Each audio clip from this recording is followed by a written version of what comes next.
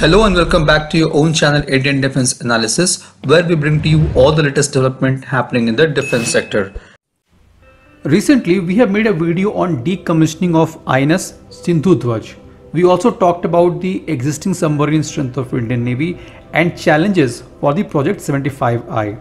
So we will not discuss more on that. In case you have missed the video, please check the link in the description section.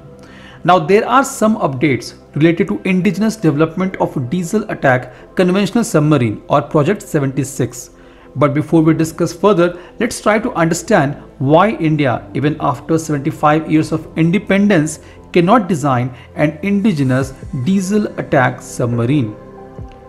If you look at India's submarine development history, the country has been able to indigenously build conventional and nuclear propelled submarines. However, submarine designing is the area where it needs assistance from foreign OEMs.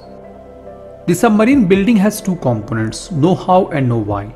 Know-how means that the foreign OEM provides the design and 100% absorption of technology to build a submarine.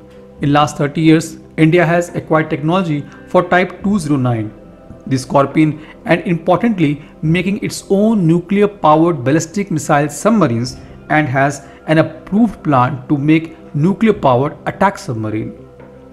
The 6th Scorpene class submarine has been built under know-how scheme. MDL required assistance for building the first submarine from French naval group. However, from second submarine onwards, MDL was able to construct by their own. The know why is where the foreign OEM provides the complete TOT for constructing the submarine. The major challenge with such program is the hesitation of OEMs to share the formula of certain components and techniques which have evolved over the year and comes with experience.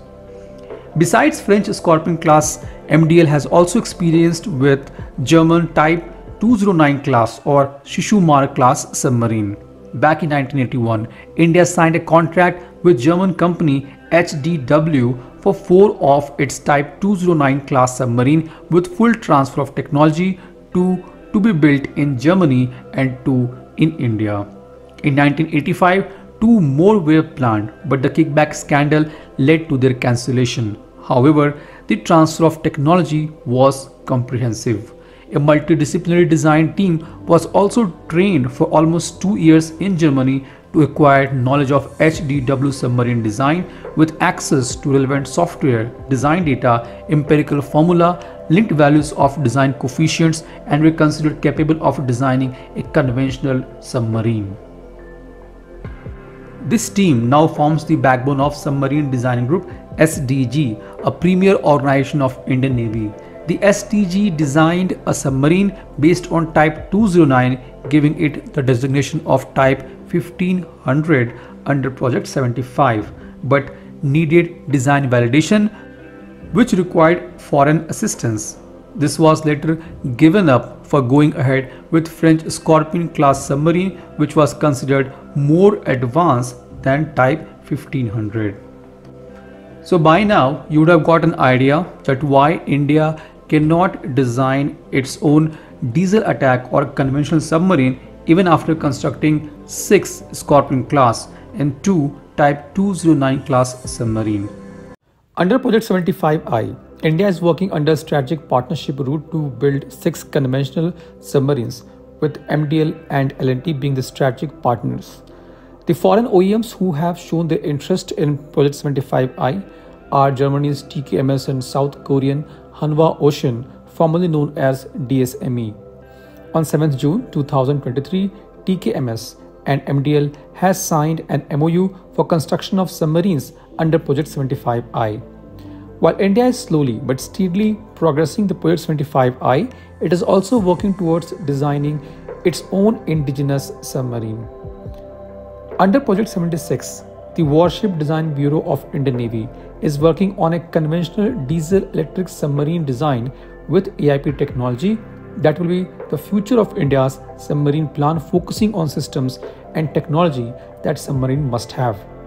It is being designed with keeping in mind the development of some of the key and futuristic technologies such as weapon control system, AIP and lithium-ion batteries.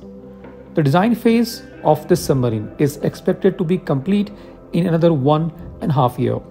Further refinement and testing and development of critical submarine technologies will be undertaken to commence its prototype construction, which can be expected by 2028. This project is extremely important for India's submarine building capability because it will help India to decouple its dependency on foreign OEMs for submarine design. This was today's update. Please let us know what is your views about these in comment section. Feel free to post your comments and suggestions about any topic related to defense sector on which you want to hear from us. With this, I would like to say goodbye and Jai Hind friends.